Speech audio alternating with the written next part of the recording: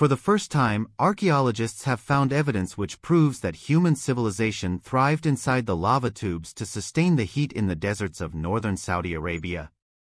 Archaeologists in Saudi Arabia have discovered that humans were living in a lava tube at least 7,000 years ago and possibly earlier, a new study finds.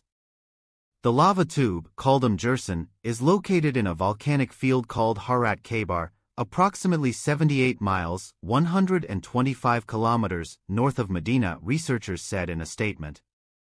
Umm is currently the longest reported lava tube in Arabia in terms of the horizontal length of passages, at 1,481 meters, 4,859 feet, the scientists wrote in the paper published Wednesday, April 17, in the journal PLOS ONE. Although ancient humans are known to have lived on the Arabian Peninsula during prehistoric times, organic remains are scant due to poor preservation in the arid region. So the researchers looked for areas that would have preserved artifacts because they were sheltered from the sun, wind and wild temperature changes over the past millennia. Jirsan met these criteria so the team decided to look there. Their hunch turned out to be good. They found artifacts such as fragments of cloth and worked wood, rock art of domesticated animals, and the skeletal remains of nine human bones. These finds suggest that people occupied the lava tuba for at least the past 7,000 years and possibly as far back as 10,000 years, according to radiocarbon dating and optically stimulated luminescence dating, which examines when the last time certain minerals were exposed to heat or sunlight. Some of the dates are relatively recent and the tube appears to have been used into modern times, Stewart said. The humans who used the lava tube left a few clues about their lives. These include bones of domesticated sheep and goats, as well as rock art depicting these animals, suggesting that these creatures were key to the human's survival.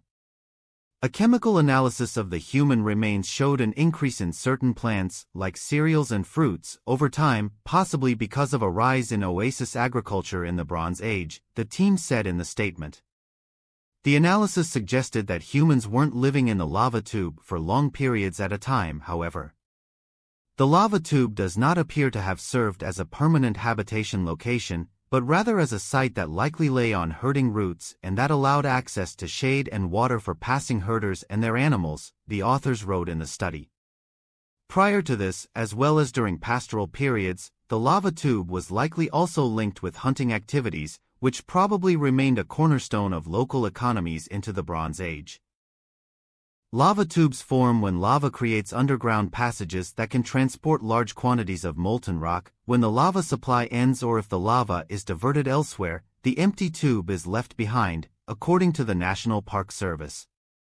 And while they may sound inhospitable, they can be a good source of shelter. For instance, scientists at JAXA, Japan's space agency, have suggested that future humans could live in lava tubes on the moon.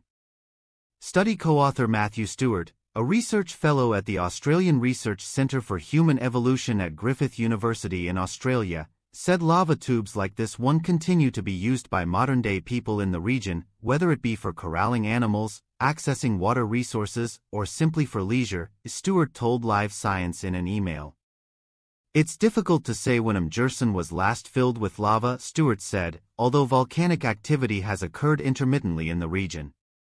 There have been some 1,500 volcanic eruptions in Arabia over the past 1,500 years, and many more in antiquity, Stewart said.